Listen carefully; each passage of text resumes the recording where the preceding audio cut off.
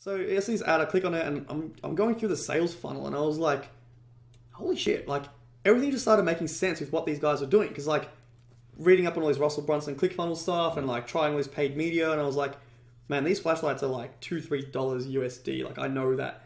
And then, you know, these guys are selling them for like a hundred bucks. And I was like, that's fucking crazy. You know, I was like, why would people pay a hundred bucks? But then I thought, like, if you, if like, if most of that money goes to like your media spend, like, you could probably get enough conversions to like make a profit and blah, blah, blah. And I was like, just thinking about it more, and I was like, shit, like, that's how these guys are doing it. You know, it was like such aggressive marketing funnel. And I was like, hmm, I'm gonna try selling flashlights. So I jumped on and I was.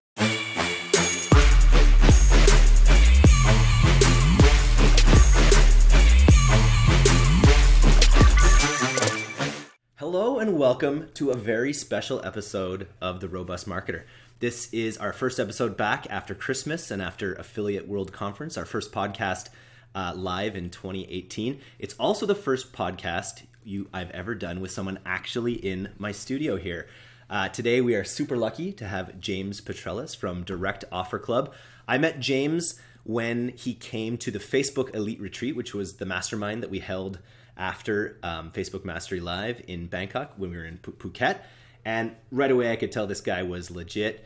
Uh, and and I think he felt the same because shortly after we ended up meeting uh, just sort of randomly in Las Vegas, uh, having a good time there, and then he even decided to come all the way to Victoria, and he's had a series of adventures that I cannot get into on the podcast, but we've uh, also continued our amazing talks that we had um, all about the future of e-commerce, uh, the role of affiliates in in the e-commerce game. I'm really excited to have this conversation for all of you here today as the first podcast of 2018. So welcome to the Robust Marketer, James. How are you doing? Thanks, Eric. Doing very well. Happy to be here in Victoria. So let's just figure out how we're going to sit here first of all on this on this sort of casting couch. Sorry yep. about that. Uh, but uh, why don't we start by telling the audience about your uh, your sort of marketer's journey? Okay, cool. So um, so I've been in e-commerce for about five to six years. Um, I actually, if you want to go all the way back, if you're going to do the whole thing, we'll like might start from scratch. Might as well. Um, I started my first e-commerce business when I was 15 in high school. Um, I was selling home security alarms on eBay, um, which is which is kind of weird and random yeah. for a 15 year old. But um, my dad runs a little like security installation company, so I would buy alarms from his suppliers and then sell them on eBay. Um, and at the time, I was working at uh, Burger King, or in Australia, it's called Hungry Jack's. So I was making five dollars ninety an hour, and um, I was working maybe like thirty hours a week, like after school, and like doing that whole thing. And then um, yeah, then I started this little eBay business, and like well, I was making like within within like two weeks, I was making around eight hundred dollars a week in profit, and I was like shit. And I was in high school, and like I was just in class, and I like I couldn't concentrate, like I couldn't even, I didn't care what these teachers were telling me because I'm like, you guys are probably making less money than me right now, and I'm sitting here in class, like it was crazy. Um, so that's what got me the bug. That's what got me like really excited about like online marketing and making money on the internet and all that sort of stuff. Um, so I did that for like my last couple of years of high school, and it was like up and down. I ended up getting all these competitors jump on board after a while, and then um, the problem with eBay and like places like eBay and Amazon is like everything just becomes a price war. So unless you are the cheapest, like for most things, like you're pretty much like that's it. So because people um, just sort by least expensive. Yeah, exactly right. Yeah, it's like a commodity type thing. Totally. So, so that didn't really work out. Um, after a while, I just I, I, probably you know if I know what I know now, I would have made it work. But um, so yeah, that ended up dying down. Um, then I ended up like working uh, a couple of jobs. Like I worked with my dad for a little bit. I worked in a um, in like a cell phone store. It's called Vodafone. I learned a lot about like sales and like being a lot more like open and being like a better person from that whole role because it was just like constantly like we earn like commission on sales, so it was constantly like cold approaching customers and making that happen and building a relationship. It, it was, yeah, building a relationship. Basically, yeah. basically like learned sales and just yeah. like got like heaps more confident as a person, stuff like that. So that was a really good experience. And then um, I started my first e-commerce, like proper e-commerce business, I guess, um, back in 2013, and uh, it was a detox tea company. Um, nice. At the time, like Gretta like Gretta, exactly right. Yeah, so it was basically uh, inspired by Gretta to build this business, and um, it was a time when there was really not many brands on Instagram. Like, I mean, Gretta rose like with she had a company called Skinny Me Tea, and that was I think like literally one of the first. Like she was one of the first people to actually do this on the whole platform. Um, and at that time, it was really, really easy to make money as a brand promoting yourself on Instagram. Um, there was so many very, very popular accounts, like people with 10,000 followers, 50,000 followers, a million followers, and all these people were like getting um, getting hit up by people like us, uh, getting offered you know free products and payments to do sponsored posts, and that became a thing very very quickly, and it was very very profitable for everyone. So it was um, you know within like we had this little thing kind of running on the side for like it was probably like close to a year, right, where we did nothing. Like it was me and a business partner. We had like zero involvement. We just we, we couldn't really be we had our we had another thing that we were doing full time, and this was like a little side project. And then um, it just got to the point where we are like, hang on, like we should really dedicate time to actually like there's so much money on the table here, and we're just like we don't even care. So what we did is like me and my business partner were like, let's sit down for like at least six to seven hours a day, and just like figure out the whole Instagram influencer thing. Um, and from the day we started that to like within the first month, I think we went from like hundred dollars of sales a month, like you know, it was like a nothing business, to doing four thousand dollars, and then the next month we did a day. Uh, no, no, up for the month. For the month, okay. And then the next month we did fourteen thousand. The next month we did thirty thousand. The next month we did nice. 50, 60. Um, Amazing. And then yeah, and then at the time it was like the, the, margins were ridiculous. Like we were making, I think at the time it was like eighty to nine. Uh, wasn't it? It was like eighty. It was around eighty percent like net and this margin. is just on influencers. This is just with influencers, yeah. Because it was a time when you could like message someone that has 150,000 followers and tons of engagement, and be like, "Hey, we love your account. We want to send you free product. All we want is return is like, if you like it, put up a post, tag us, and that's it. Yeah. Right. And um, or if you do like three or four posts throughout your like detox journey, you know, and like let your followers know the results and stuff like that. Yeah. And like, yeah, like we would email we knew that if someone posted, like we'd make money, right? Like you couldn't really track everything properly, but like you'd see that when a post goes up. If you look at the times of our sales and when the post went, post was up, like you'd see the spike in sales. So like we knew that worked. So we're like, well, I guess like the, what you should do when you're starting a business, I think is like 80, like even like 90 percent of your time should be spent on a revenue generating task. So yeah. we're like, like fuck everything else. Let's just do this like from morning till fucking night, right? So we were emailing, I think like it was like hundred influencers a day each. Wow. Probably more than that. Like manually. Manually. Just right? hammering. Yeah, yeah, yeah. Because I'm all for automation and yeah. like outsourcing all that stuff. But I, I, I very strongly believe that when you're starting, like you have to do the shit yourself.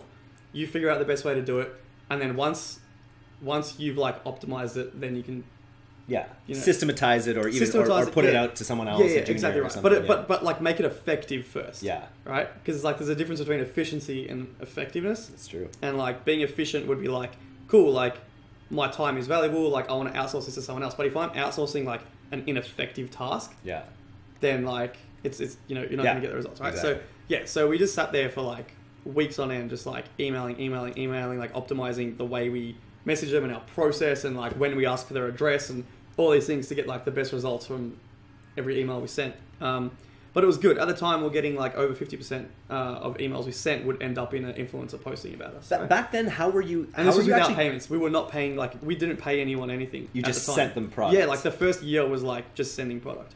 How did you get their emails? Are they were they built into their profile at that point? Because you couldn't them... DM either at that point, could you? No, you could DM. You could DM. But like, okay. so we we DM'd as well, but we would um yeah. So if the email address was there, we would email them straight up if it was uh, not there, we would DM them asking okay. them for their email address. Okay, gotcha. Um, both were effective. The, the, problem was like with DMing, like it was limited to like thirty every few hours or okay. so. So like you'd have to be really careful. Yeah. And we didn't want to get our account shut down and stuff like that. So we are really particular. But um, yeah, that so that like kind of changed our lives. Um, basically like before that we we had this other little business. We used to do like um, audio visual installations so we'd install like home cinema projectors yeah. tvs and stuff like that. That's time for money. Time for money. Time for money. Yeah, you're not going to get rich Very, very hard way. to scale. Yeah. Um, and and it just it was a bit of a broken business model in the sense that like most of our revenue came from wall mounting TVs, and that requires two people to do, yeah. and it only make like a two hundred dollar profit per job. Yeah. So it was good for us, right? It was mostly cash, cash so, in like, your pocket. Yeah, we would literally just go like do like three, four jobs a day,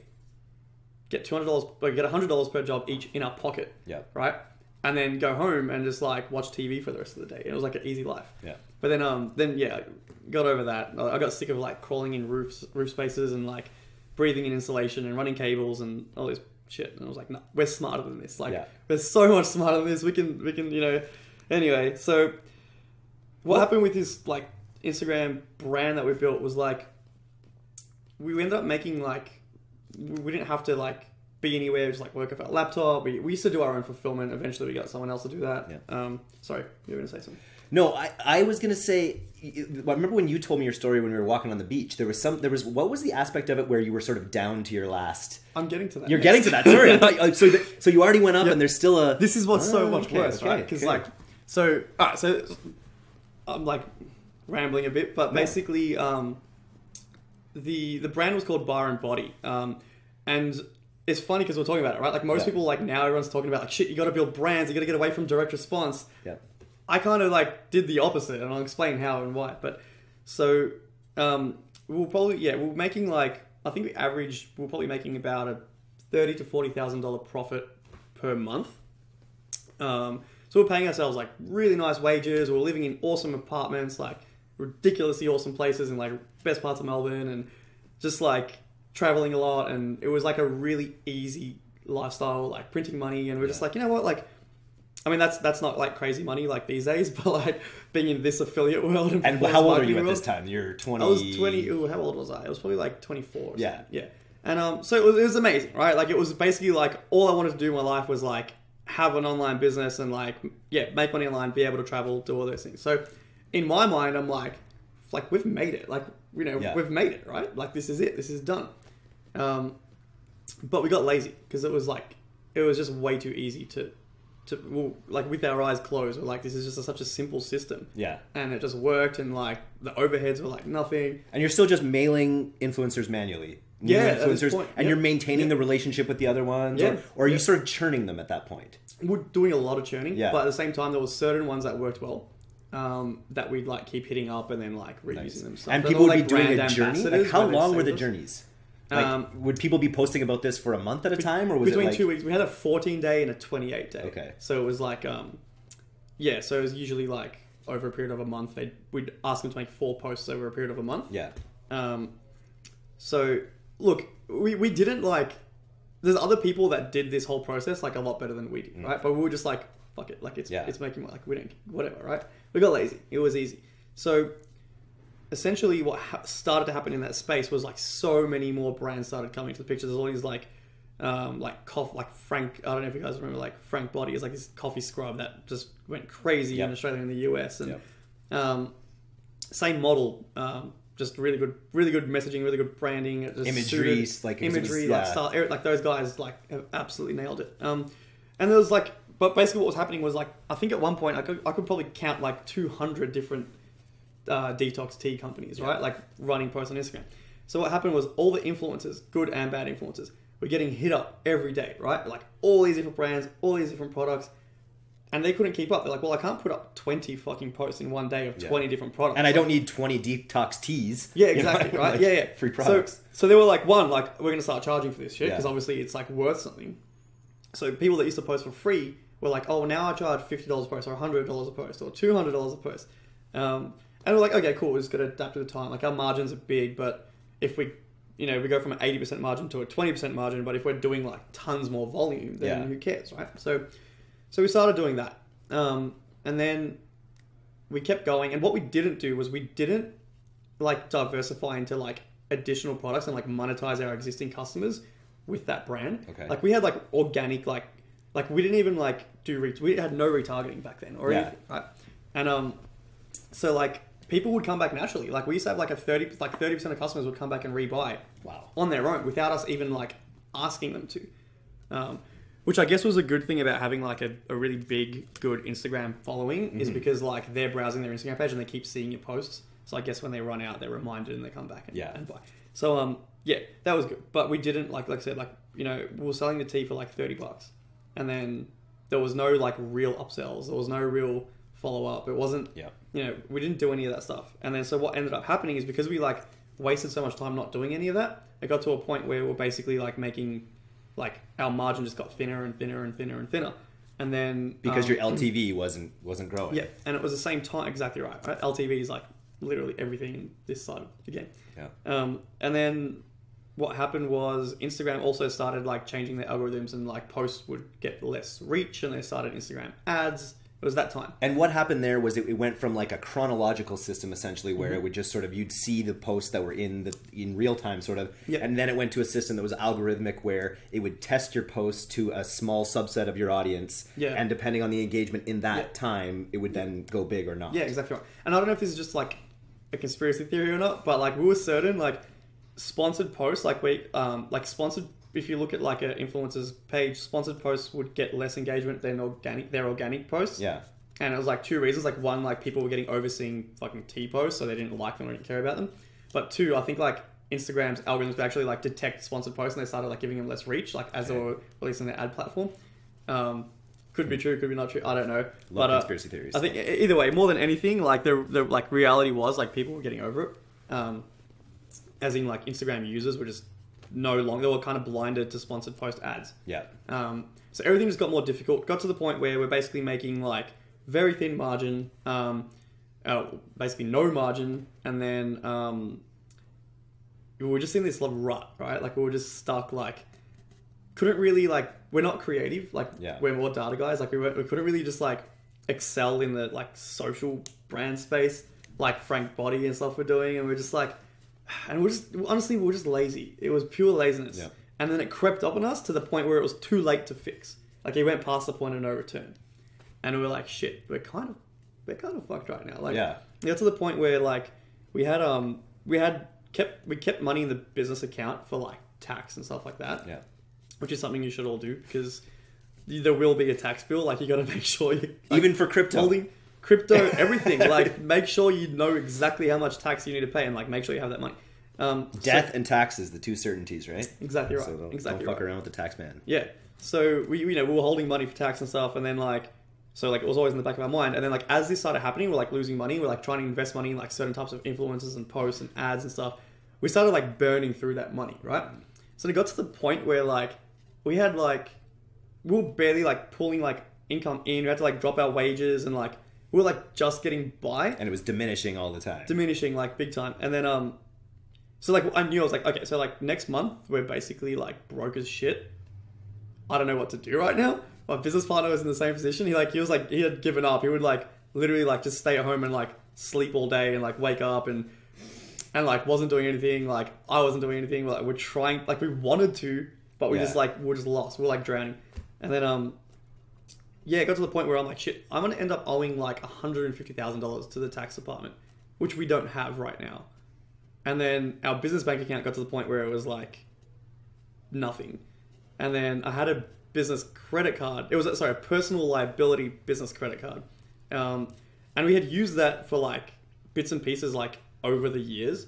And we kind of like would pay off the little like repayments. We didn't really care about it, but it was there. And it was a ten thousand dollar limit, and it had like maybe three or four thousand dollars left.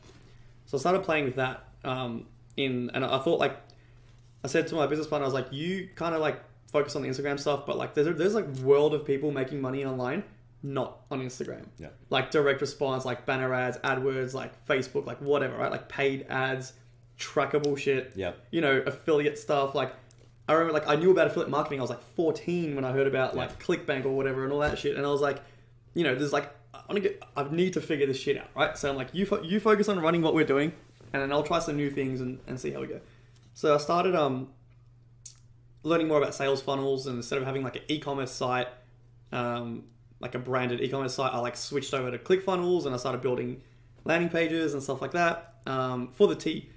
And I started running Facebook ads, and I was getting conversions and stuff like that, but it just wasn't like I couldn't scale it. I couldn't like I just couldn't get it to be like super profitable like it was with Instagram, and Yeah. also like we're running out of time. I'm like, you know what I mean? Like I don't You're like literally on borrowed money at that point too. I'm on borrowed money, Yeah, right? yeah. Like I don't even have like I don't every day is like a massive problem, right? So then like I would go to the office, like try a bunch of shit, it wouldn't work. I'd go home, I'd stress about it at night, I'd wake up, and I'd be like, like I got to go and do this again. Like go to the office, like buy ads, fail, lose more money. because you weren't changing enough. You Yeah. know what I mean? You weren't you weren't refreshing. You weren't like it was Yeah. sort of like just going Yeah. hard at the same exactly thing. right, exactly right. And like I was also like in my mind, I'm like shit, I'm like failure. I'm like trying to like deal with all that, and then like going in and then like actually physic like physically failing at what I was trying was like reinforcing that, and I was like, this is really fucked up. Like, it's it's a different story if like you're if you've never made any money online and you're trying to get into that space and like you're at you have nothing and you're like trying to build it and figure it out. It's Yeah. like it's an exciting time. Yeah.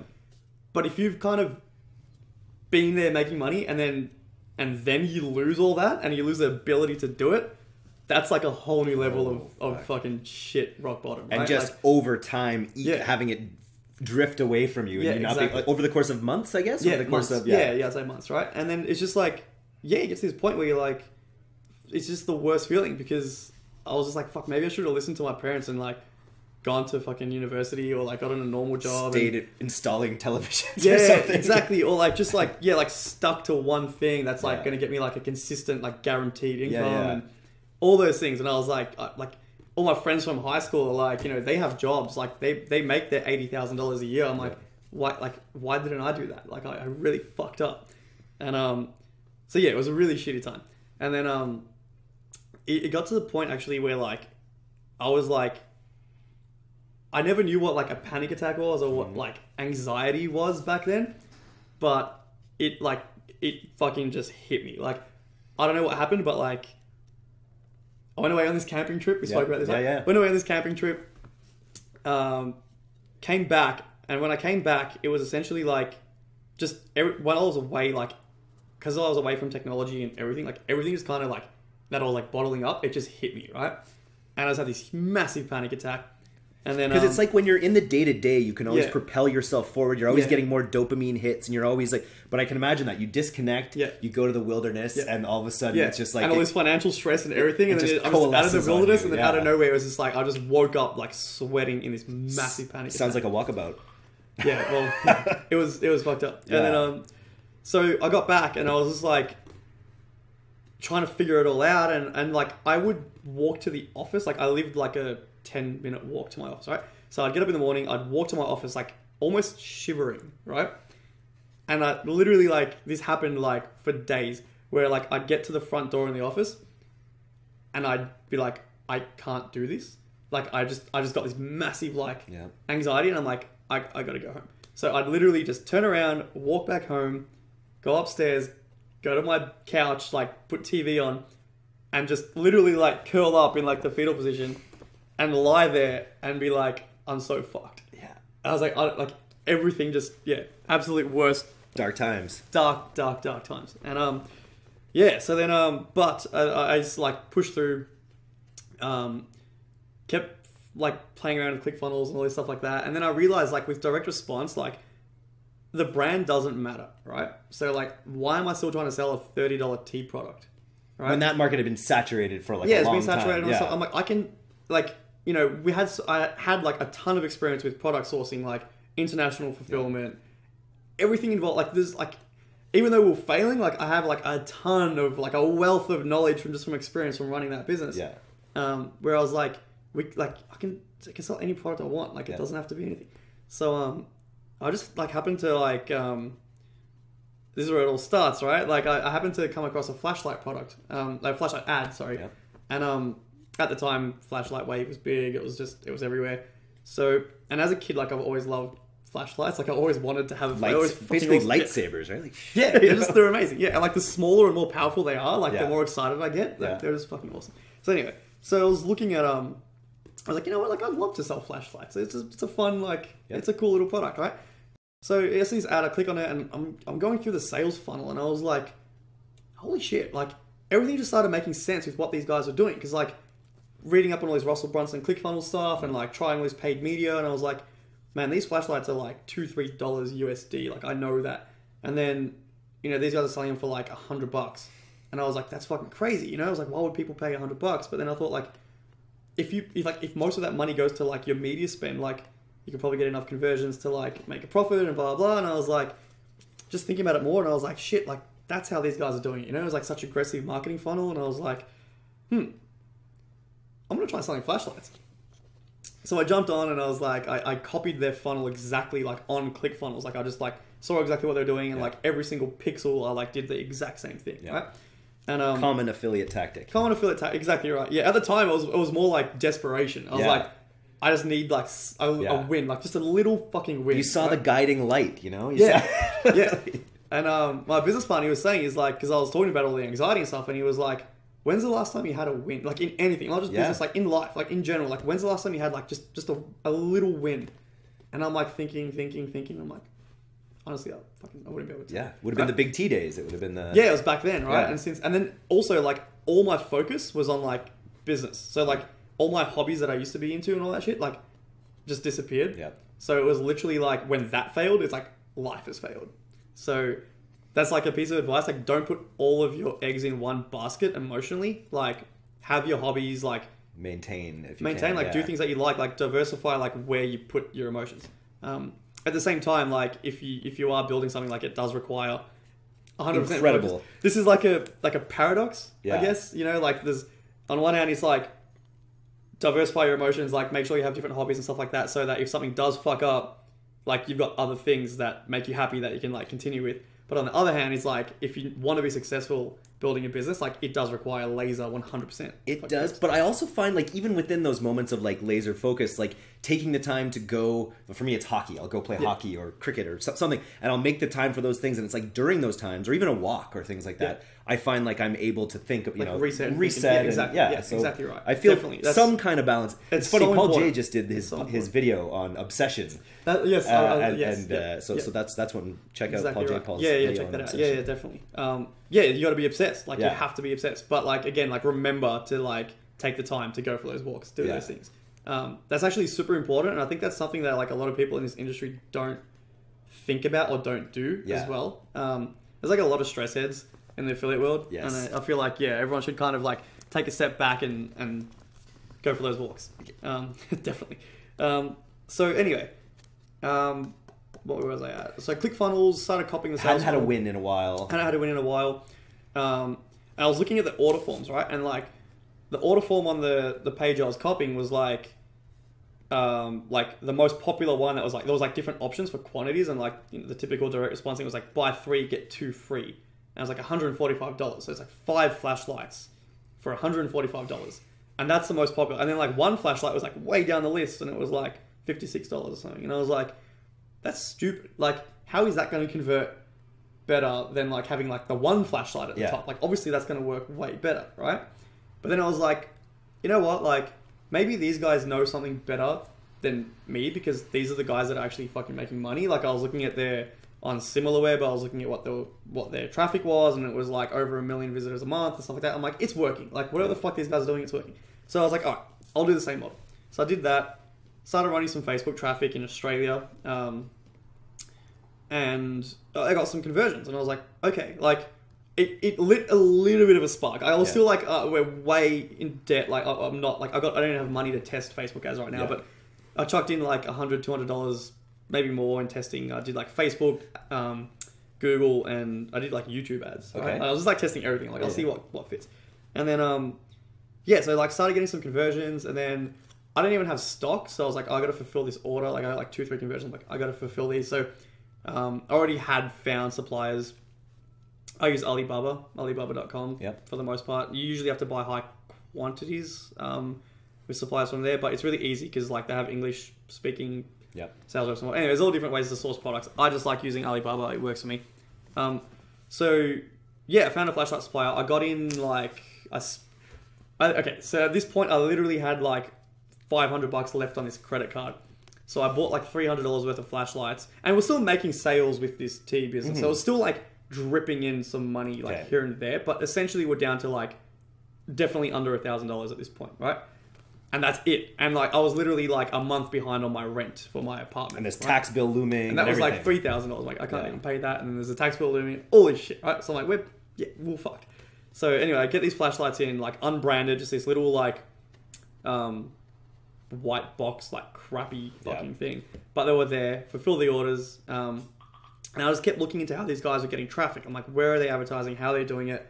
And then all the tracking links and stuff, it was all like affiliate, like through affiliate networks and stuff. Like I just like figured that out. So I was like, hang on. I'm like, these guys are just like, these are all affiliates running. So I must have an affiliate program. So I found the affiliate program.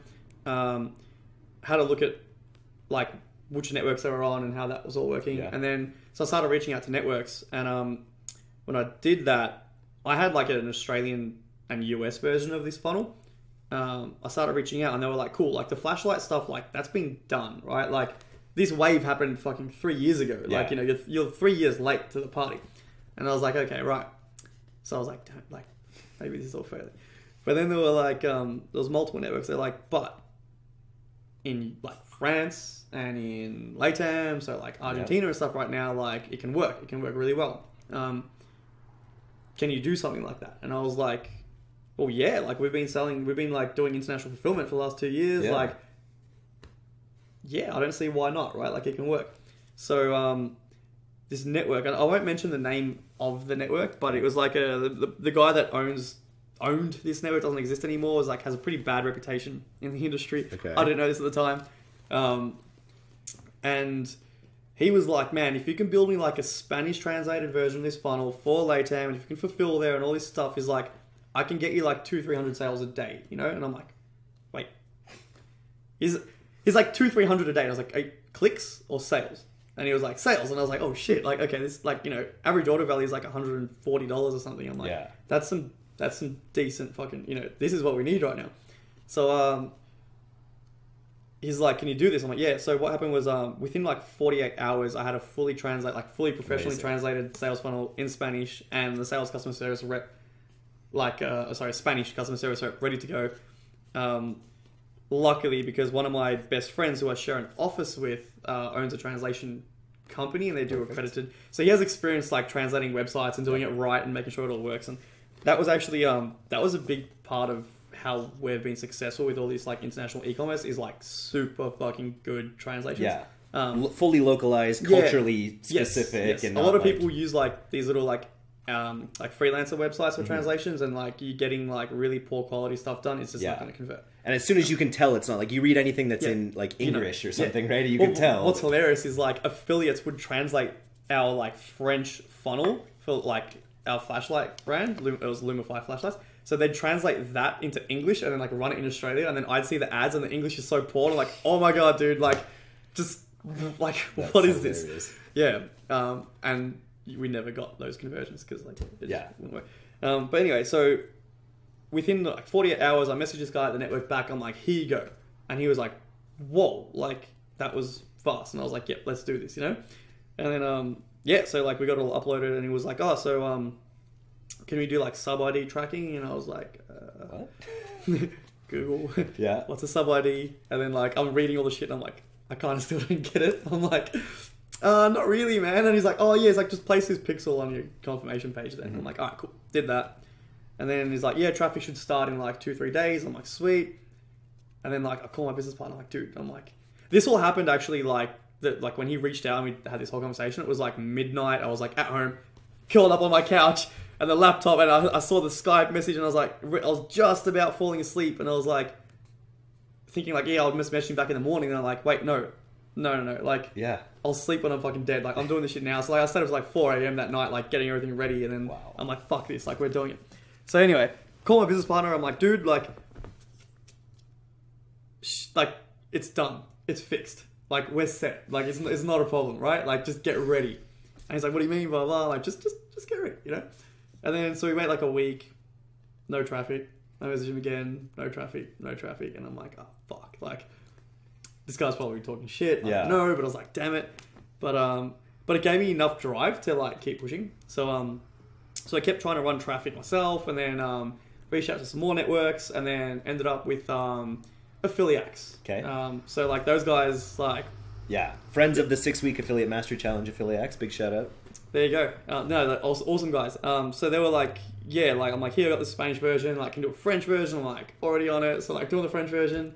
Um, we upload all the offers, and um, yeah, like within literally within a week, like we just started getting sales, and started at like 10 sales a day for like a few days, and 20, 30, 50, 100, 200, 300. Like, just it was insane. With right? those AOVs of 150, 100 bucks? 150 bucks, yeah. Wow. So like we'll make like from the start we're making like ten thousand dollars a day almost. Wow. You know, like within that, that first few weeks of testing, um, and I was like, like holy shit. And like one of my best friends who I live with is like a housemate. He was um, he was like he went away like the day I started the like the day traffic was supposed to start. He went Yeah. on this trip. Came like five days later and he called me. He's like, "Hey, how did the flashlight thing?" I'm like, "Dude, we've done like sixty thousand dollars in sales." He's like, "What the fuck?" I'm like, "Yeah," and he's like, "Wait, what? Like, how is this even possible?" And then um, yeah, and then so that was like April. No, when was that? Like, yeah, like maybe June, July. By the time I started getting traffic, all this started like January 2015. 15, 15, okay. Yeah. Um, or 16. I'm so bad at dates and times. It's fucking ridiculous. I think it was 15. Anyway, and then, um, so we ended up like, basically, where was that? What's my train of thought now? Uh, 60 grand in five 60 days. grand in five days. Yeah, yeah. All right, cool. So then as we led to like November, December, like, we're like, can we do like the Netherlands? Can we do this? Can we do that? Blah, blah, blah. And like all these other networks are hitting me up. Do you And- have proper affiliate tracking at this point yet? Or are you still yeah, just relying so, on so the I got I? I, I got cake. I got Cake, I got cupcake. The Nice. uh, the, the, the basic cake basic or whatever they call it. it used to be called cupcake. Yeah. Um, and then yeah, then I switched to the full version. But Okay. like, um, yeah. So then I figured out the whole tracking thing and all Nice. that. And it was all good. And tons of networks hitting us up, tons of affiliates hitting us up, and um, we just kept like just kept scaling. Like we went from like my business partner was fulfilling these flashlights from his garage, um, like at the start, and then like within a month we went and like rented a warehouse. Um, In Melbourne? in Melbourne. Yeah. Yeah, yeah. Went rented a warehouse. We started getting like really good rates with DHL, um, DHL e-commerce, which is like the uh, Australian DHL. Well, they're worldwide, but it's for like exporting, so it's like only international. Okay. So um, we ended up being their number one, like their biggest client in Australia. So it was pretty funny because they actually send all of their products like from Sydney Yeah. to their like destination country, and then like from there they use like the local like country's like postal system. Um, so what happened was like they were telling us that like we've actually we actually had to like get another truck onto our fleet just to handle your shit because like going from Melbourne to Sydney, they couldn't keep up. Yeah. So you know we're sending like seven to eight pallets a day like out of our warehouse. It was crazy. Yeah, so like this all happened. Like we had to hire. I think at the time it was like three or four guys working six days a week, purely just like packing orders, right? And this all had to happen within a month, Yeah. Right? So what do you account for this? Is this that like how come were these other because it was a three year old trend or whatever? Had those other businesses just not really tried to crack this market, or was it just Um, that the appetite there was so insatiable that it was just like a, you know a lot of people were, were going to these other markets? to be honest, like there was a lot of like. Are you talking about like com- competitive Yeah, flashlight like, brands? yeah. yeah. Um, there, there was a few. There was like three Like, or how four. come this did so well for you? Like how how come in, in internet like how come international markets hadn't been cracked? Um, a lot of the guys like, a lot of advertisers come into the space and they can do well for like a couple of months, Mm-hmm. and then they get merchant problems and they disappear. Yeah. Um, internationally, it's hard because packages take like three weeks or so, sometimes more, depending on customs, to get into the country. And then when that happens, like you, your chargeback ratio is higher. Yeah. Right? It's, it's, it's that simple. Um, so you can't really rely on like standard, like PayPal or whatever. Like Yeah. this, you know. So what we did is like we built like a really good relationship with uh, a bank in Australia and like explained everything we're doing, exactly how we're doing it, and they were like really good with a lot. What we had to give them like a ridiculously high reserve to be able to process the transactions we did. Okay. But it just yeah, we're just like really open, transparent. Like we're not scamming anyone. Like this is what we're doing. And this came from the previous business you had built. Like came from you, you know you understanding that aspect of having Well- to take care of that. Yeah, well, well, actually, what came from the other business was more about like like customers matter and like making sure we actually looked after our customers. That's the other thing. Like a lot of advertisers come in and it's like they're used to being like I don't know, like affiliates, or they just want to do this like online stuff and not Yeah. deal with humans. Churn, right? churn, yeah, Yeah. exactly. Um, but I mean, customer service for us with like the tea brand and all that was like our like KPI on that was like 100%. Like every customer has to be Yeah. 100% satisfied no matter what. Yeah. Every email has to be responded to within 24 hours, things like that. So that's why it was so important. That's why I had like so much customer service like backing set up before we even launched the traffic. Like before I gave the okay to the affiliate, Yeah. it was like, no, no, we need to make sure that like every customer is happy. Um, every customer is not happy at this scale, No, it's impossible. and with international long shipping times and stuff, it's it's, it's definitely impossible. Um, so I'll get to how the flashlight thing went down uh, in, in a moment. Okay. It's, it's related to, to that, but um, so anyway, so yeah, it was just great. Like literally, like within a month, we go from fulfilling from a garage to having four staff packing full time, six days a week, biggest DHL client in Australia. all this shit. I'm dealing with all these affiliate stuff. My business partner's doing all the like hiring all these customer service reps. We needed like French, Spanish, German, Italian. Um, and I'm just building funnels, like just new funnels, like new landing pages, new everything. And um, all we needed to do is like, I think our international stuff was converting better than the competitor stuff. And I think a lot of it to do was with good translations. Yeah. Um, and having the cap, like our, our merchant facilities allowed us to do like almost unlimited caps. So we gained a lot of affiliates. And then there was a few flashlight guys that kind of came in and out and had periods where they had to pause. When they paused, a lot of those affiliates came to us they already had everything worked out, so they just switched their branding from whatever it was to our branding, um, and just scaled hard. So then in December and January, um, we did like we were doing about a million dollars a week in revenue. yeah, it was crazy. Yeah, I think our record day, like I was in um, I was in New York. Um, yeah, I was in New York and I was like logged in and we're checking and like it was scaling so hard and we are doing like hundred thousand dollar days and I was like fuck, man. I went from like literally like six hundred bucks, six hundred bucks or whatever, like just stressing left. the fuck out. Yeah. And I'm like, now we're doing six figure days, and I was like, when I started the whole thing, when I was like in that like give up stage of my life, I'm like, I either give up completely because this feels like shit, or like the only way to stop feeling shit is like fix it. I'm like, I want to do ten grand a day. Like if I can do ten thousand dollars a day, I'm like, that's you know, that's like my aim. Um, to do it consistently with like at least a 50% margin or whatever. That was like kind of where I was at. And then, yeah, I guess like don't aim low. Like definitely like whatever you think you should be making, like times that by 10 and make that your goal. Um, because yeah, like now, like anything under a hundred thousand dollars a day, I feel like I'm failing, which sounds so fucked up. Um, but it's true. I mean, that's what happens. Like, I literally feel like if I'm doing under hundred thousand dollars a day, I'm like, shit. Like, I'm underperforming here. Like, we need to step up our game. We need to do yeah. something. And our margins aren't great. Like, we're not doing fifty percent margins. Like, mm. we're like, I always aim for like a twenty percent margin. Um, lately, it's probably been a little bit less than that. But okay. yeah, if uh, twenty percent is like safe, and I feel like that's like a, a business that can run. Um, anything less than that, I will cut that offer.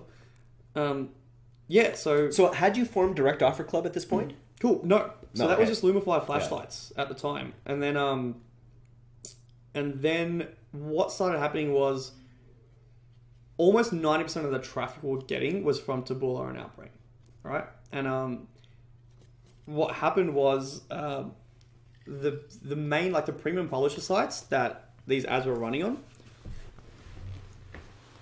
were um, receiving complaints about customers customers like emailing like whatever the fucking MSN is of France, yeah, saying um you know, I haven't received my order. This is a scam, blah blah, from like multiple flashlight brands.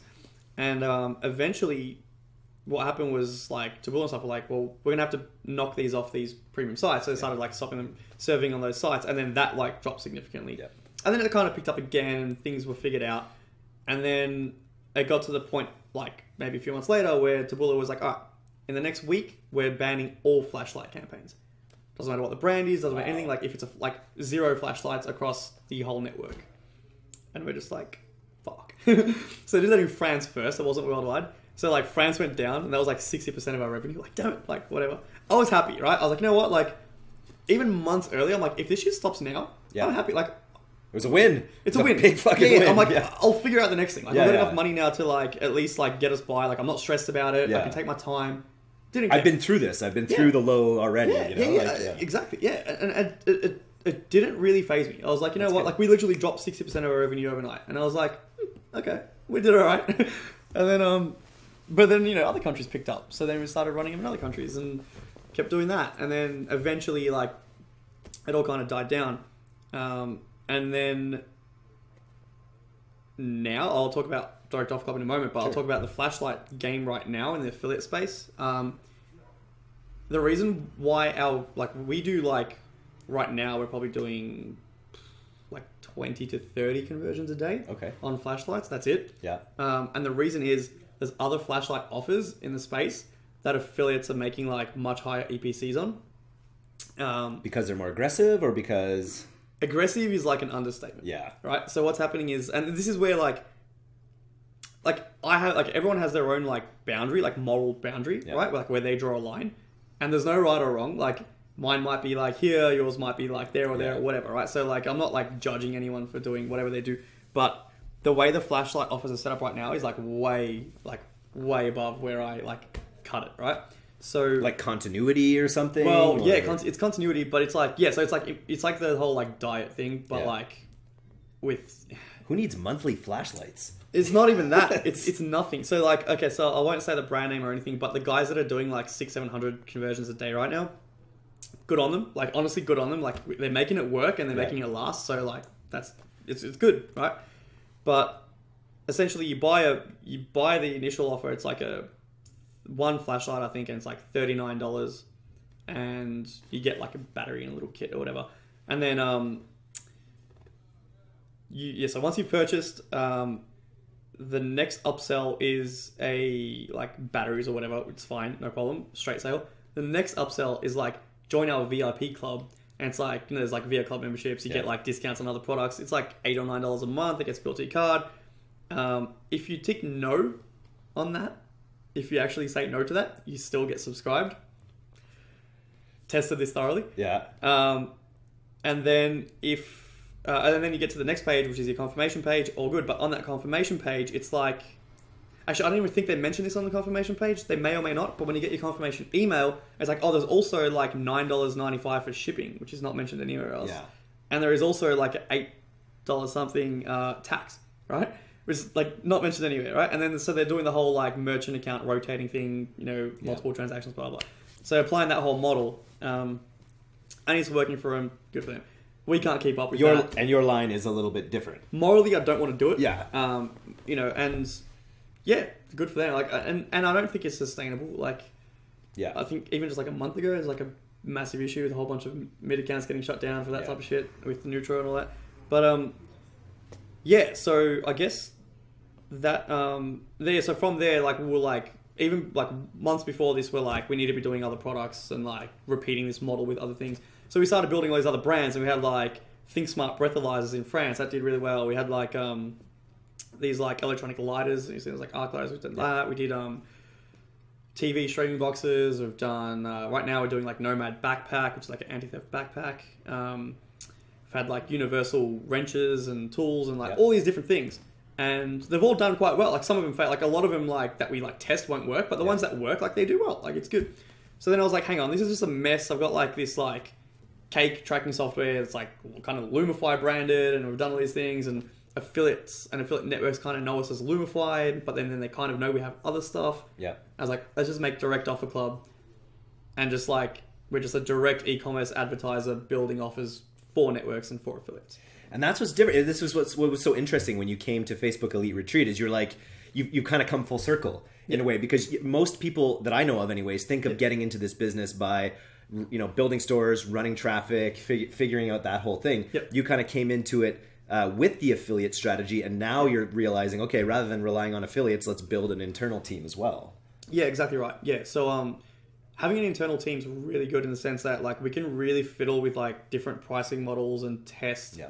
And test your funnels more. At, you know, you can, Exactly. you can yeah, yeah. Exactly. Yeah. That and then like, so like on top of that, like one like big like mistake, like not really mistake, like it was more just like we just didn't have the resources and time to do it. But like we didn't even have retargeting, like internal retargeting set up on all this traffic, right? So we're getting like fucking we got media buyers spending ten, fifteen thousand dollars a day, like multiple, on these offers. So like we're getting tons and tons of traffic. All we needed to do was like place a Facebook pixel, set up some retargeting campaigns, would have made a fuck ton more money, would have had good audiences, all that shit. Um, so that we're building out now, and like I- I'm trying to like hire more people and like do more things to allow me to have time to actually really sit down and figure out like Facebook native. Like I just Yeah. want to like really, really like dedicate my personal time learning that. Um, again, it's like that whole thing where like yeah, okay, you can hire someone to kind of do this, but I, I just want to do it myself first Yeah. learn it, and then once I've figured it out and optimized it, I'll hire people to do it my way. Um, so yeah, so working towards that now, um, having internal team, internal media buying, running our own offers. Um, Nice. but yeah, and then I guess this kind of brings us to like the next topic that we wanted to talk about, which is like where is e-commerce going? Yeah. Uh, where is like performance-based e-commerce going? Exactly. So when you know we're we're planning right e-commerce mastery live right now, uh, the big event in Barcelona on July twentieth, and we're sort of like the way we see it. It's it's there's there's multiple ways you can sort of take the e-com- e-commerce is uh, is just means buying shit online. Yeah. And so there's all sorts of ways you can do that. The one way is what like uh, the Tans and Muhammad Ali Agail do, which is like it's it's the store game, right? It's the general, yeah. it's the store game where you're not yeah. really focusing on a brand necessarily. Yeah. You're trying a lot of products and you're you're building up that aspect. Then there's what what you've done, which is kind of like that, but with affiliates. There's building brands out yourself, and then there's just running stuff like your affiliates do. There's just running stuff rather than building fulfillment centers and customer service teams and translation teams. You just basically get really good at running ads to other to other people's products who've already figured all this stuff out. Yep. So uh, exactly uh, so. I'm curious. So there's a lot of stuff happening in e-commerce. Uh, there's a lot of uh, news about what's happening with the news feed and the way uh, you know how drop shippers is getting harder and harder for their businesses. So that's what you, that's what we've spent yeah. a lot of time talking about while you've been here is like where you feel the future of e-commerce is. So so yeah. riff on that. Yeah, definitely. Um, so I'll just say like straight up now, like I don't know the actual answer to it. Like I don't think anyone really knows like the actual answer. Yeah. But like the long term, like ten years from now, like who knows, right? But what we do know is like ten years from now, like offers like a lot of popular offers on these networks, like outside of ecom, like all these sweepstakes and all these like Nutra stuff and all this shit, yeah. like cloaking. And... I don't really know if that's going to be around yeah. in the next 10 years. And I know, like, if you look back, right, like, that's been around forever. And there's always been these talks of, like, this shit's going to stop. Like, there's all these new algorithms yeah. coming out. Affiliate marketing is dead. Yeah, yeah. And, like, it, it's, there's always going to be a way. Like, hackers will always find a way to, like, break through, right? Every single time.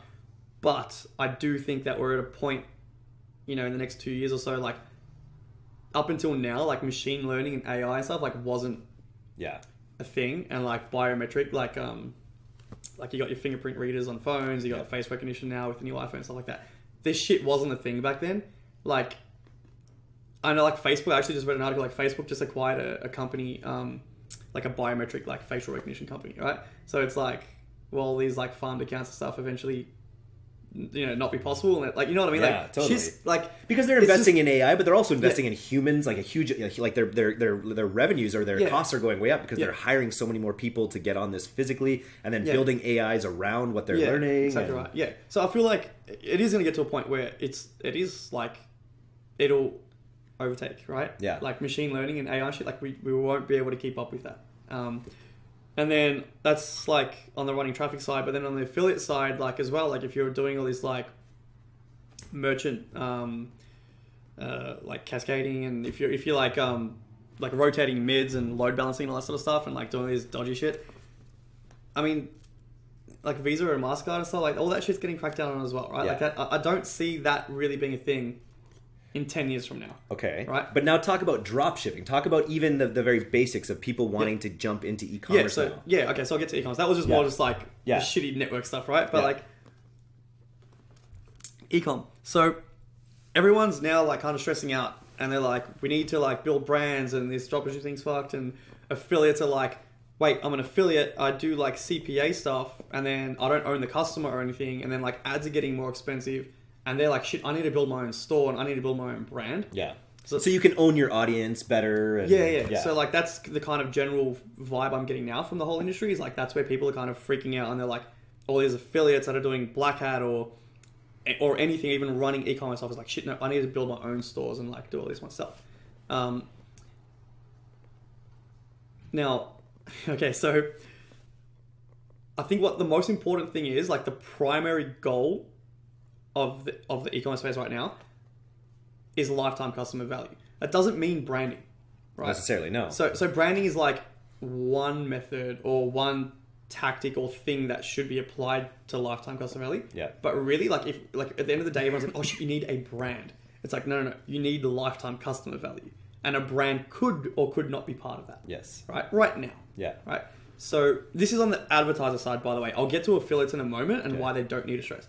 Um, so, as an advertiser or as a store owner, if you are building, um, if you're building out a store and you're getting customers, you need to make sure, like one, like the biggest, the biggest problem with low quality e-commerce right now is um, is shipping times, right? Yeah. So the reason why customers are unhappy is shipping times, ninety percent. Yeah. Right. Product quality, for the most part, if you're doing it right, like it's not, it's customers are happy with their products. Yeah. They just don't want to wait a month for it to arrive and they want to be somewhat like they want to have like a nice package or something, yeah. right? Like, you know, that doesn't mean you need a brand. It just means like give them a good experience, right? Yeah. Like they might be well aware they're getting a little tech gadget product from China, but Yeah. they just want it to arrive quickly and they want it to work well.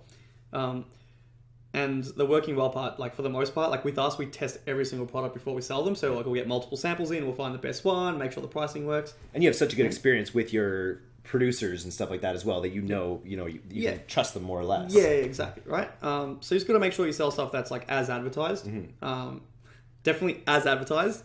So don't be too aggressive. And then um, it's honestly like it's ninety percent shipping times Yeah. and you know com- communication. Like you- we respond to all customer service emails within twenty four hours. Like it's just it's a must. Yeah. Um, and if you can keep that customer happy on the first time they buy, then you need to work on like how to keep selling to that customer, or, like with your emails, with your Facebook list and stuff like that.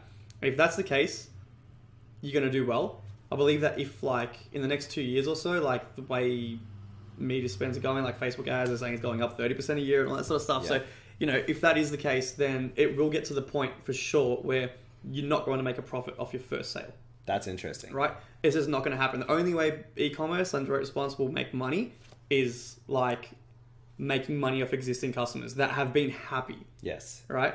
So, and again, uh, I'm not saying you have to build a brand. It's good to build a brand, but like you need to somewhat be able to resell to these customers. in a way do you need a brand because if you're going to sell like because there's some products that you need more of again and again but Yeah. there's other ones where you want to be like hey another great product from ronco or whatever exactly. right so it's Yeah, like yeah. there there- that in that way i can see a brand being beneficial Exactly right. Yeah. So like it just depends how like how much dedication you want to like focus Yeah. on like the brand name and stuff. But you know, yeah, as essentially you want to you want to get that lifetime customer value up. So that's having a brand having a brand's good, but you you don't do that though you don't you- you're not like direct offer club to No. consumers right No, no. We So- have like gadget tech trends. That's like Okay. one of our sites. So like we play on that. most of our offers like are sold through gadget tech trends. So Okay. we can kind of like have a centralized. nice and have a Like- newsletter for new products on the gadget tech trends Exactly. Yeah, exactly right. So there's like somewhat of brand building, right? Yeah. But at the end of the day, it doesn't mean shit unless your customers are super happy. And Yeah. You know, yeah.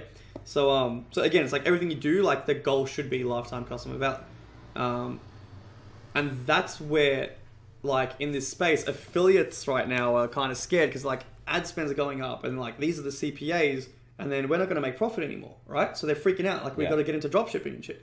Well, it's like no, like the affiliates don't actually need to stress at all. It's the advertisers and the store owners that need to stress because they need to make sure that they can afford to buy customers and then make money off them, right? that's right Whereas all that means is in the affiliate space, affiliate guys running ecom and lead gen or whatever it is, they will be getting paid higher because advertisers like us, right? Who think about it, right? Yeah, I was thinking about because I was wondering if you're trying to say that you're not going to make money off the first purchase, Yeah. how are affiliates ever going to make money? But but it's but you got to go up the Yeah. chain to do the affiliate marketing will always exist, right? Yeah. It's like their media buyers. Like if they just like they focus on the media buying and then we focus on running the business and making that money on the back end. That's what the whole thing's all about, Yeah. right? So the people that need to stress are like me, Yeah. right? Not the affiliates, because all that happens is like in two years from now, let's say I've got this current setup and I'm paying a sixty dollars CPA like per conversion on this. I need to be able to pay eighty dollars. That's the stress. yeah, Right? Because if I pay eighty dollars, that affiliate's going to make money. Yep. And so he'll keep running and run volume. running, right? and, And if I don't pay eighty dollars, and then some other e-commerce guy is like doing it better, and he can afford to spend eighty dollars, I lose. Yeah. Right, and then I'm fucked. The affiliates are fine because there's going to be someone that does it, right? There's going to be multiple people that do it. So like the affiliates have no problem. And so affiliates need to find advertisers who have their back ends sorted out in a way, right? Which, yeah, which will happen, right? Yeah. So like the net, like they'll be on networks, they'll be around, like it'll be a thing. So I, I, yeah, affiliates don't need to stress. Just keep doing what you're doing. Focus. If, if you want to be a media buyer, and you don't have to worry about fucking merchant processing and customer service, and Fulfilling in your garage. all that stuff. Yeah, yeah. If you don't want to do that, then like you like don't. Like if Yeah. you're a media buyer, just keep buying media. Be good at it. Be the best at it, so that when times change, you have that competitive edge. yeah. And then, you know, the e-commerce guys like there'll be a few that will follow. Yeah. they have to, right? It'll just this is part of like adapting to the whole process. Is like making it clean. If you can get a good lifetime value out of that customer, you know, like even if you're losing twenty dollars on that sale, like eventually you're gonna make that money back. Yeah. Um, down the track. So. Yeah, it's us that need to stress, not the That's affiliates. super interesting. Do you ever think about uh, about like are you an affiliate network yourself? Or do you just always rely on other affiliate networks? Well, we rely on other affiliate networks, but we also have like our own little like Yeah. direct offer club. Like it's our own little affiliate Yeah. network, I guess. We don't run other people's offers. Like we don't have anyone else's Yeah. stuff on our network. it's just your stuff. It's purely our own e-commerce products. Um, so every time there's a new product, we build a sales funnel and an offer out of that product. and then we do multiple geos, and then we put that out to the affiliates that run our And stuff. increasingly, you test it yourself as well. Well, now we're starting to do that a lot more and more. We've, we Since the have Elite really good Retreat. relationships with a few guys that actually, yeah, since Elite Retreat. Um, Yeah, Nice. definitely. That was like the most. I'll talk about that later. But Elite Retreat, like this mastermind that um, iStack set up, it was like, yeah, probably one of the best things I've ever done Wow. in my life in terms of like just realizing like you know there's always like different stepping stones it's like i got to a point now where I kind of being like oh yeah cool we're like successful we're doing this we're doing that then i came to elite retreat and i was like hold on like everything need I- i'm actually like what happened after this mastermind like i went home and i was like i'm more than happy to not make any money for the next six months like i'll literally shut down the whole business i'll just like fi- like fire everyone shut down the whole business we're done and start from scratch and just build things up the way I want to do it to like scale harder. Like that that's where I was at. I was like, I don't even care. Like Yeah. I want this and we're here right now and we need to change so much shit. So like I want to take a step back and, and build this properly. Interesting. Um, yeah, it's, it's yeah, it was really good. Wow. Really good. Um, highly recommended. okay. Well, thank Um, you. Yeah. so uh, where was I at? So yeah, we run as like a like a direct affiliate network. Yeah. And we have But it's not a big focus for you. Um, it actually is. Yeah, Yeah. yeah. it's um, definitely definitely a big focus. So there's two things we're focusing on. Like one is obviously like making sure our customers are happy. Yep. We're doing uh, some crazy stuff with logistics right now, so that we can pretty much like ship to like any main country that we sell to like within four or five days. And Wow. yeah, so like getting all that set up. Um, just yeah, getting that customer satisfaction like back to the level of like what it was when we had a brand. You know, like we want like less than one percent of people complaining. Like Yeah. it's we want to like really nail that, and then um and and be able to like nurture these customers and make money off them because like, I said, in two years' time, me paying sixty dollars per offer, like I'm gonna need to be paying eighty dollars per offer. Yep. You know, to keep these affiliates happy. Um, So you got to keep your customers Yeah. happy, and you got to yeah Yes. sell to them over their lifetime. Exactly right. The other stress affiliates have right now um, in the whole space is like they feel like there's all this talk of like, oh, if you're an affiliate, like it's not a real business. Like you're just getting that CPA again. Like you don't own the customer, you don't actually own anything. Yeah. You're not doing You're anything. renting rather than owning. You're renting Yeah. rather than owning, right? So there's affiliates like shit. Like no, I need to build my own business. Like I need to. That's why they're getting into dropshipping. You know, Yeah. it's like I need to like I need to have this something that can like grow and nurture and roll. Um, but there's two things with that. Like it's it's a good it's a good idea, right? But one like unless you're buying media on that thing, it's gonna fail anyway, right? Yeah. Like how many people you talk to with a dropshipping business that you say if you turned off all your ads right now, are you gonna be making money in six months? No. I don't. Yeah. Yeah. So, anyways, that's one. But what I was getting at is like affiliates, like them your your media buyers, right? So like, who's to say you can't build a business, a media buying business? Yeah. Right. An Like, agency. An agency, right? Yeah. Or whatever. Like a media buying team. Like some of the affiliates are doing right now, like. They've they start off as an affiliate themselves, and they hired one, two, three people. They have a whole team, like a whole media buying team that know direct response, right? Yeah. that is a business, right? So in two years' time from now, when like people are struggling to make money online because everything's so expensive and they don't know shit about buying anything online, how valuable is that going to be, Yeah. right? Like you being able to say like, hey, we can we can like support like what like big budgets, Yeah. right, for your store or for whatever it is you're doing, and we'll make it profitable. Or for whoever, whatever big brands move into performance marketing, right? And that's uh, our, the big thing we talk about all Yeah. the time is performance marketing and the rising Yeah. tide. And if you're an expert performance media buyer, Yeah. that's a good. it's like you should be to building in. a media buying business. Like you don't have to get into like whatever offer you're running. You don't have to get into that. Yeah. and then run that. I mean, you can. It's good. Like do it. Like whatever. Like we run a very successful e-commerce store as an advertiser. It's definitely just that's that's where I'm at. But what I'm saying is, and that's only because I don't know how to buy media. That's not my thing. Yeah. Um, if you're a good media buyer and that's what you like doing, build a media buying company. And there's other assets you can build within there. You know, Yeah. one of my our favorite you my favorite example. sell that company. I can't Yeah. sell my well, company look right at Straw now. House. Look at Straw House. Straw. House has built uh, eighty million dollar, or they did eighty million dollars in three years or whatever, and they've done it on media buying. They basically run offers. They were, Mm-hmm. Yeah. you know, they ran Tracker, Yeah. and now they're building. I, I won't let the cat out of the bag too much, but they're building media buying tools that allowed them to do these amazing things. If you can build technology around media buying and the Exactly and the nexus of and, Yeah. and media buying and e-commerce, that's an incredibly saleable asset. Definitely, definitely. You know? exactly right. So like it's. Yeah, it's such a wrong, it's such a misconception, right? Yeah. It's like, oh, I'm an affiliate, like I don't. own chill out, company. affiliates. chill Just out, relax. Like, yeah, bu- build a fucking media buying company. Like, Yeah. that's going to be the most valuable, like, in this whole online space, the most valuable people in two years now when everyone's stressing the fuck out are the ones that can still do it. Amazing. I wanted to ask you, do you still like you're almost all direct response at this point, but do you still invest anything into in, in, in the influencer space for any of your brands?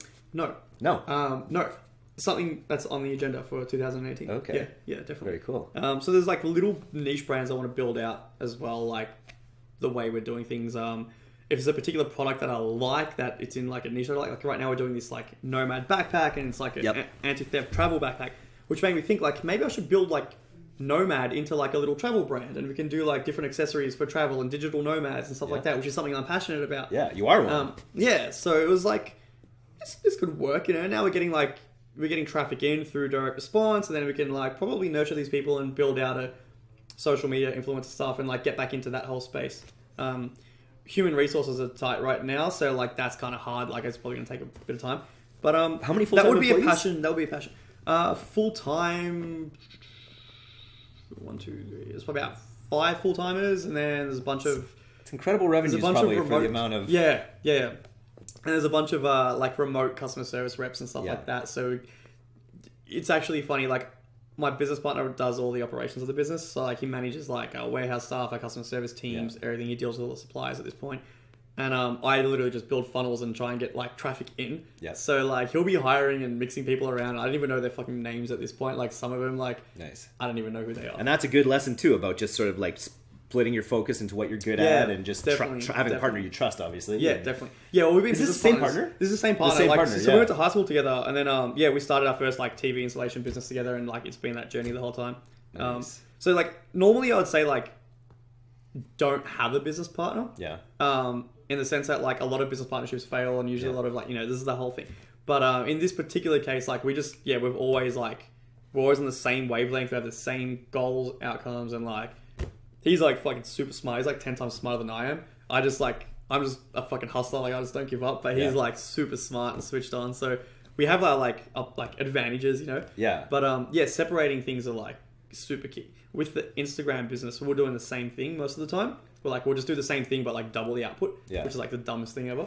Um, and the worst thing about that as well is like you have to separate operations from business development because whoever's doing business development and if they're also doing operations, the more like work they bring in, the harder their job gets. Yeah. Right. So like this isn't just for stuff. This is for yourself, like a psychological thing. Like back in the day, like when I first started the the tea business, like I was the one fulfilling the orders. Yeah. So like every time we'd get like we'd scale up, it's like shit. There goes my so fucking weekend. Fucking Yeah. work to do. Yeah. yeah. And like, which is good because it's exciting, but Yeah. at the same time, like, it's a barrier. Like, it holds you back. And then when we outsource that, it was like full force. Like, fuck it, I want to get as many as we fucking can. Yeah. Like, I don't even care. Like, I'm not even, yourself, I'm not even yeah. touching it anymore. You know what I mean? Like, so yeah, it's uh, that that operations and um and business development definitely needs to be separated, Very even if it's just you yourself. Nice. So I think we've actually. Is there any? We've we've gone long. This is uh, usually we do about forty minutes. We're over an hour, but in person, time just flies. Were there any other like key learnings you wanted to get out?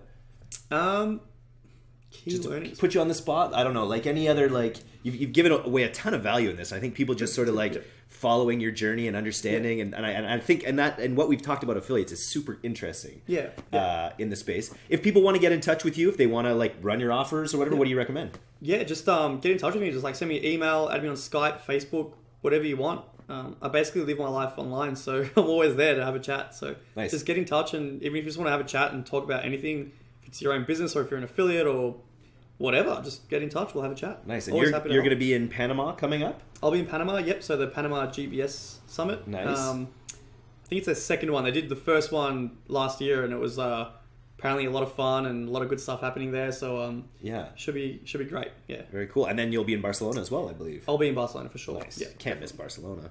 Very cool. Uh, as a final thing, I want to say, what what have you like? Not a lot of our audience probably has experienced Victoria, British Columbia, but what are your thoughts on spending a week in Victoria? Honestly, like Victoria is like one of my favorite cities in the world right now. Like Oh. it's such a small little place. Like I, I, I way prefer smaller cities over main Yeah. cities. Main cities like they're all kind of the same. Yeah. This is this nice little unique flair to it, and it's like everyone's super nice. And you've got just- you've got into just- some adventures here. We've had definitely had some crazy adventures. So Ask James about those over you'll have to you'll have to message me about those. I can Yeah. tell you. I can tell you in private message. Um, no, Nice. but yeah, it's been it's been amazing. But um, yeah, some key learnings, I guess. Like um, one thing, going from like being in a really sh- shitty situation to sort of making it work, and this has happened like several times in my life, is um, is like I think one thing that's like super important if you're like starting out or trying to build something is like or trying to even scale something like let's say you're already successful and you want to make it to that next step is like emotional leverage. So what I mean by that is like being in a position or purposely putting yourself in a situation where you don't have a choice. So like like literally like back against the ropes Yeah. or nothing.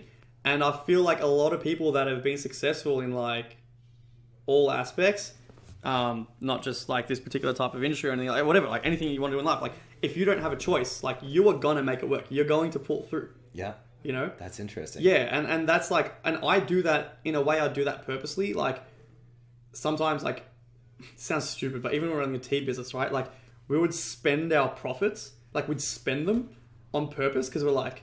We want to make sure that we always have a little bit of financial, which is really fucking stupid. You actually probably shouldn't listen Yeah. to this advice. it's so contradictory. Put yourself in a bad Yeah, situation. Put yourself in a fucked up situation to make good things happen. to make good things happen. And I, honestly, like as weird as this sounds, like I strongly believe that that's like a, that's like the number one fucking key to making it work. That's interesting. Like you either it, it sucks, But, but, you, like you do that yeah. yourself too. Like you're saying, like when you're not making 100k a day, you feel, and so like that that that scale guess so, changes. I guess so, yeah, you know what I yeah, mean? So like That sounds so and- pretentious. No, no, I know. but yeah, no, it's true. But It- but it, it's it, and it's something that, and I think that's probably a tactic that you've de- a tactic that you've developed. Like as your 100%. success has raised, 100%, you yeah. change the scale of what feels like success, and that allows you to Yeah. keep driving forward. exactly right. Like I have a friend right now, sitting in another room right Yeah, there, right? nice, yeah. Yeah, so he's trying to get into uh into affiliate marketing and running all this stuff online. He wants to be able to travel the world and work off his laptop and all these things, right? Which is amazing. But he makes good money, right? He works a full time job. He makes fucking awesome money. Mm-hmm. Yeah, he's right? an electrician. He's an electrician, right? In Australia, that's you know, if you're a qualified electrician, you're making good money. Like you're making eighty to hundred thousand dollars, like anywhere. And you're actually helping the world work. Exactly. Which is impressive. yeah, you're well, building yeah. something real. Yeah. Yeah. So um, anyway, so he's been trying, right? Trying for a year now, Yeah. right? Part time Yeah. here and there, but it's not like he's not giving it hundred percent because Yeah. it's like he knows like he's just going to go to work that week and get paid anyway. Yep. Right. And then like he's not even spending that money on like the Facebook ads and stuff because he's like kind of scared or whatever. And it's He's like got that big safety net. He's got that big safety net. Yeah, I like guarantee you, like this is a smart. guy. Like you know, like it's not that hard. Like a lot of these things that we all do, like it's not that hard. Yeah. it can all be figured out, right? Um, it's not like fucking brain surgery. you But know? his back isn't against the wall. exactly, and so he hasn't I had that guarantee if he breakthrough quit yet. his job and like lost Yeah. all his money, he has like he has like all these like life savings, and I was like, dude.